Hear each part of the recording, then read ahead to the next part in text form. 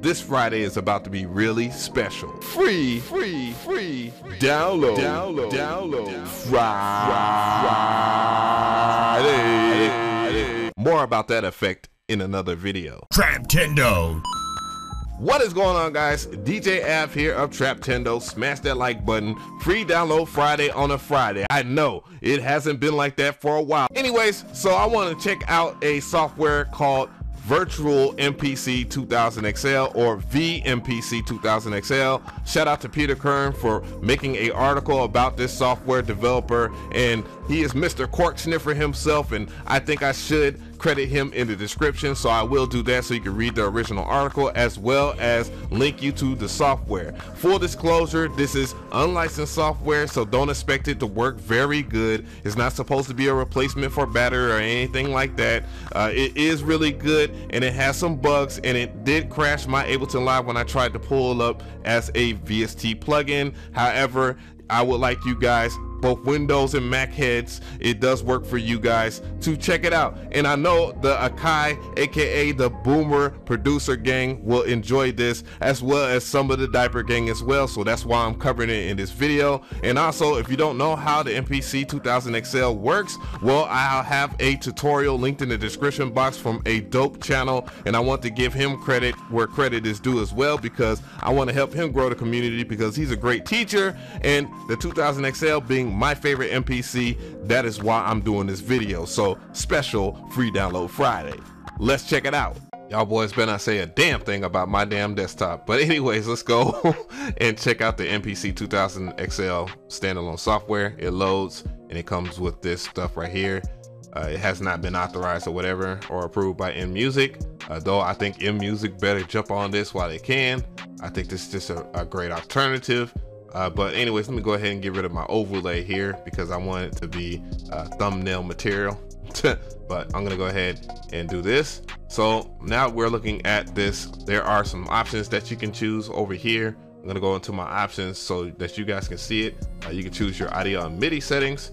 Uh, I chose my uh, Arturia ASIO driver and you know I'm just gonna go ahead and do that uh, you can mute the audio input so you don't get any feedback looping uh, you can still hear my voice so I'm very confident that you can hear that. Uh, you also can choose what is your active input channels. Uh, I have my one and two tracks selected uh, just for this video. And also you can select your sample rate. Uh, though I think it does not work in 4800 hertz or 48,000 hertz or 48 kilohertz yeah so i don't know. You also can select your uh, midi input as well so you can have a keyboard uh, plugged up to it. So that's pretty cool. So uh, keyboard test here uh, i might have to go down an octave or whatever. Yeah uh, i had to go down an octave on my midi keyboard here. And this map kind of crazy. But you can see it's active on the screen here. So yeah that's pretty cool uh, some other things that I want to show you guys is that it does work with like your cursor or whatever. So this is important. Again, remember I was talking about numpads and stuff like that. Uh, so it does work with the numpad and that's the reason why I always talk about the numpad. But uh, if you don't have a numpad, you can use this right over here. It just won't feel as natural, uh, unfortunately. Uh, you can adjust the BPM over here and I'm gonna go ahead and adjust it to like, you know, I don't know, 92 or something like that. I don't know, something around there. You can see how it moves in increments here. Uh, I'm trying to get it exact. This is actually how the struggle was on the real MPC. Uh, for those who always tried to sample other people that had uh, MPCs uh, for your music for today. Uh, now I can use the cursor, uh, the up, down, the left, right cursor. Uh, so just keep that in mind. you can change the timing over here. So you can change it from 16 to off which is basically your quantize. Uh, this data knob is very, very sensitive, uh, just like the, goodness gracious. Uh, I don't know. I'm gonna see if I can set it. And the three means triplets. Uh, you also can set the time signatures right here. Just gotta hit left on the cursor and you can turn count on and off. The count sounds very traditional. So that's the traditional MPC 2000 XL uh, countdown. Uh, you can turn loop on and off. you can set your bars uh, and then you can select your tracks. Of course, you know, we're on track one anyways. Uh, we have it on, program off, uh, program, like the program here. There we go. Uh, so I know the first thing that people are going to ask me is like, well, how how do you sample stuff in here? Because that's the main thing, right? Well, uh, you have your function keys over here. Well, you have your function keys up here, which does uh, correlate to the function keys on your keyboard. So uh, keep that in mind. So function one would be actually function one on your keyboard inside of the software. Uh, so with that, you can also hit the shift button and you will see down here, which is a little difficult, but you can see sample, trim, uh, what's that? Program. Uh, you also have song, uh, miscellaneous, load, and then you also have uh, MIDI mix sync, MIDI sync. Okay, there we go. And other and mixer. So I gotta hit shift and four, and that will pull up the mixer here. Uh, uh, with that, you can select your input. Of course, it says analog, and you can make it digital, and you know you can set it to stereo as well in here. Uh, but I do if recommend if you are going to interface this with your MPC 2000 XL in real life that you keep it uh, on mono because you know mono files are smaller, but you know you can do what you want. I don't care. Uh, uh, monitor you can choose to monitor it in and let me see uh, seven and eight. Go down. It's not gonna be seven and eight. I want uh there we go. Should be left and right or one and two. So uh for some reason, uh, when I am trying to use it again, I do think it's because the MPC 2000 XL is actually at one. Uh, well, the MPC 2000 XL sample rate is limited to 44.1 kilohertz, and my actual uh, my actual interface itself is at 48,000 kilohertz, uh, 48 kilohertz.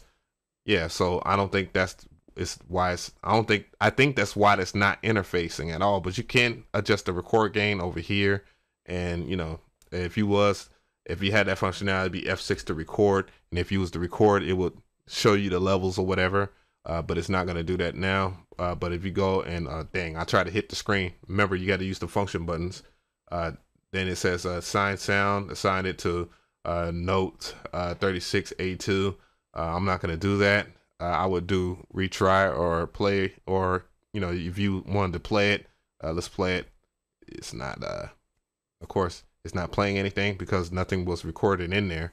So, you know, again, this is kind of buggy, but you know, I just want to give you a little bit of a, a walkthrough. Again, this is not a tutorial on how to use it. So tell me how you feel about this video. Man, this is a very special video for me because when I found out about this, I wanted to check it out because one of the main things I really like about this is that it interfaces with the original MPC 2000 XL. So you can pull up files with inside of the virtual one and you can do vice versa transfer. And so that means if you like working on the 2000 XL, you have something that is very custom to what you like. And it has a lot of the great things that I like about the UI altogether. I thoroughly enjoy, even though I know Akai has the MPC 2.0 software out there that can do about the same things. I think that this one, though it is very limited in its functionality, is akin to the limitations of the MPC 2000 XL. So I don't think anybody should complain if you can't do pitch slidey 808s or anything like that because that doesn't exist in the MPC 2000 XL. You, well, sort of. You can do it, but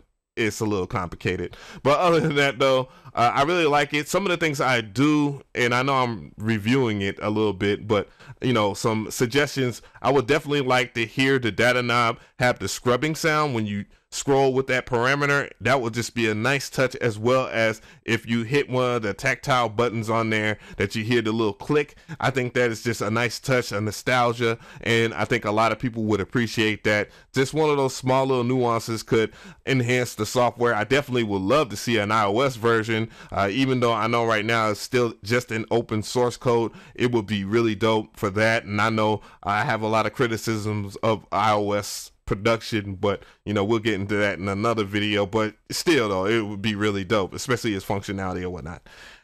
Uh, yeah, I give it the stamp of approval. I know, again, this is free software. I definitely want to hear from you guys in the comments section. What do you suggest for this? Did it work for you? Uh, did it work inside of your DAW? And, and what other things that you would think that would be great for the developer to add to the software. So therefore we can all be extra happy because it is free right now. But man i would pay for it to have great functionality and definitely some nostalgia nuances as, as well to be honest